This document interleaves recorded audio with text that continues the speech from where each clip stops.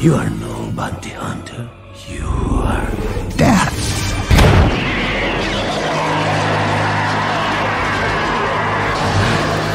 And I don't mean it metaphorically or rhetorically or poetically or theoretically or in any other fancy way.